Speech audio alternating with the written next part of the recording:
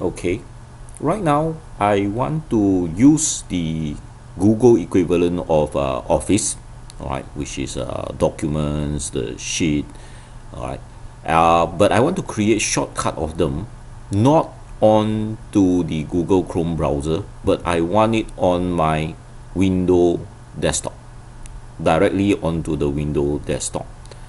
And of course the first uh, obvious things to do is to make sure you have launched your Google Chrome or using the Google Chrome browser.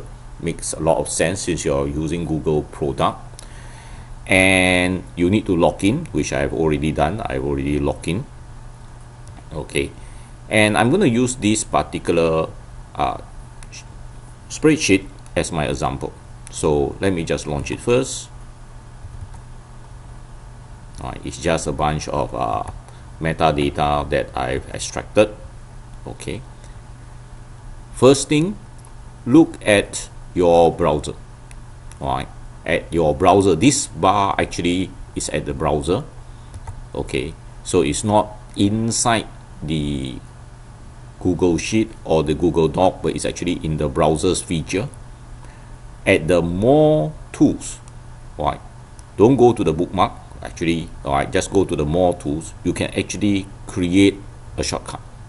So I'm going to create a shortcut. I'll leave the name by itself. So I'll just click create. And the box actually disappear. So where is it? Okay let me just close this. It is actually at your apps. Here. See that? All right it but it, this shortcut is still inside the Google Chrome browser. I do not want this because I actually want it inside my Microsoft Windows desktop. So at this shortcut I continue to right click and I can create another shortcut from here.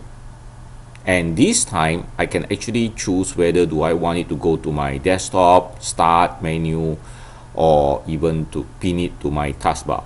I'll just leave it as desktop just to show this example and I'll click create. Alright now let's test this one.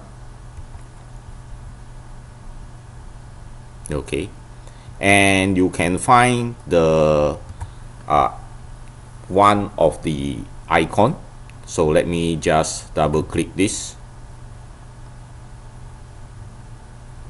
And it will open the files that I actually want see this? It actually open the file directly. And of course uh, this is assuming that you actually already save your password uh, inside your Google Chrome and your Google Chrome is actually your default browser